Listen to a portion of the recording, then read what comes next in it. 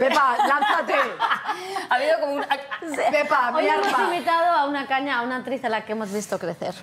Es que es muy fuerte, porque Clara Lago eh, eh, tiene menos de 30 años y empezó hace 19. Clara, bienvenida a la Script. Me Muchas gustaría gracias. Tu vida laboral has cotizado desde, desde que no sé si era ilegal.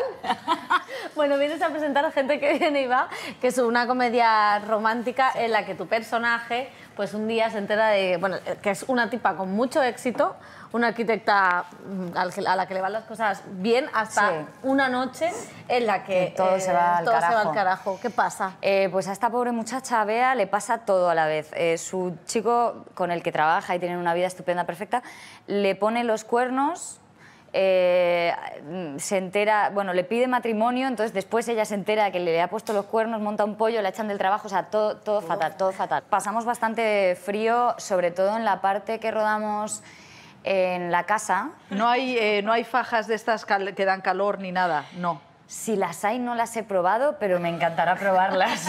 ¿Tú eres de las que lees un libro y dices, quiero, me gustaría hacer una película? Me ha pasado con, no con todos, pero me, me pasa a veces, sí. Leyendo Reina Roja de Juan Gómez Jurado con el personaje de Antonia Scott, que es maravilloso.